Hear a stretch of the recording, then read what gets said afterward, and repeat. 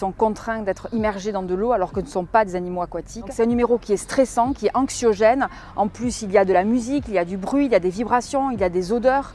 Euh, et donc tout ça, en fait, ce sont des facteurs de stress intenses. Quotidiennement, ils sont euh, transportés environ une heure et demie. Ils sont amenés rue Le Pic dans des containers en métal. Euh, où ils sont donc ensuite euh, déchargés euh, pour être amenés au Moulin Rouge. Donc là, on voit des images en fait que notre association a filmées. Ce sont des boîtes quand même vraiment très petites où on se doute qu'ils sont vraiment dans des positions très serrées, très enroulées, où ils ne peuvent pas du tout se, détendre. Tout ça, je le rappelle, hein, pour un business, pour un divertissement.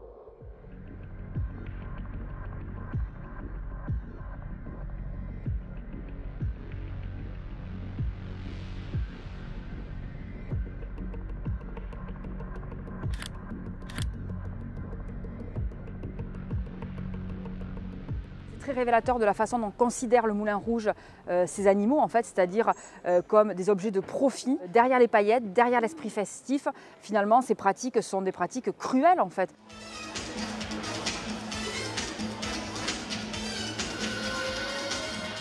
Euh, sur le plan sanitaire, c'est euh, Python du Moulin Rouge depuis une vingtaine d'années à peu près. Je connais bien la propriétaire actuelle euh, des serpents qui s'en occupe vraiment bien. Avant, quand ils appartenaient à un précédent propriétaire, je les voyais régulièrement parce qu'ils étaient malades, ils souffraient de problèmes respiratoires notamment, certainement liés aux conditions de travail hein, dans cette piscine. Les reptiles ne sont absolument pas des animaux destinés à travailler. Ce sont des animaux qui n'ont rien à faire sur une scène de spectacle. Le fait de faire ces numéros pour ces serpents où ils sont perpétuellement euh, tiré par la, nageuse pour qu'il reste dans l'eau. Ça, pour moi, ce n'est pas une chose à faire avec ces animaux-là. Ce pas des conditions naturelles de vie, hein. ce ne sont pas des, serpents aquatiques à ce point. Euh. donc c'est très joli à regarder, certes, mais euh, ce n'est pas la place de serpents comme ça dans, un spectacle de, cette nature.